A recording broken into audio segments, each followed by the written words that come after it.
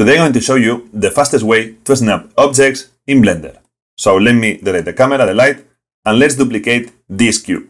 We select the cube, Shift D, and we have a copy. And let's make it smaller.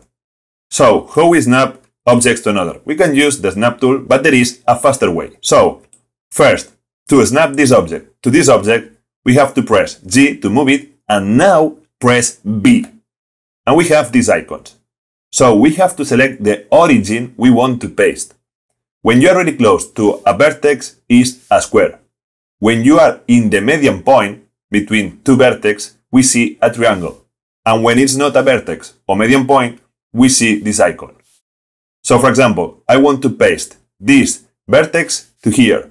So first, I select the vertex of the original object, click, and now I move to the other object and I click in the vertex. So I snap both objects with the vertex. Let's do it again. Now I want to paste this vertex here. So G to move, B to select, I select, and now I go to the object. Boom. Let's do it again. Shift D to make a copy. And now I want, for example, this one here. G, B, click, move. Shift D, now this one here. G, B, click, move. Easy, right? I recommend you to practice. Another thing you can do, let's delete this. Let me create, for example, a cone and make it smaller. And now I want to paste this here. So I move the camera, I press G, B, for example, here. And now, how I can see this? We have a problem. We cannot move the camera. Yes, we can. Just press Alt and scroll button.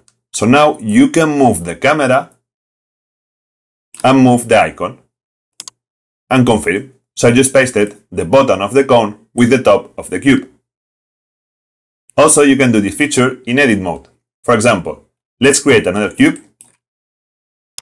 and let's move it here in x-axis. And now I want to paste this vertex with this one. So for example, I selected with the vertex tool G to move it, and B, so we click on the vertex, and now we go where we want to snap it, here. And we can do the same with the others. Select, G, B, click, move. And you can do also with the edge. For example, let's select Edge tool, let's select this, press G and press B.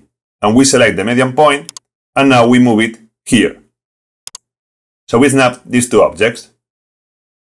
Now let's do the same with this to here. So select, G, B, click, move. So you can see it's really easy to do it. And for the final tip, for example, if you want to snap this cone, the bottom, the face bottom really fast here, but with the right rotation, then I recommend you to use this tool.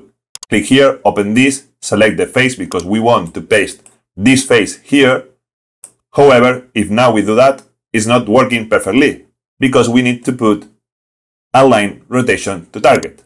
So now if we move this, look, when you are really close to the object, you can snap it face to face.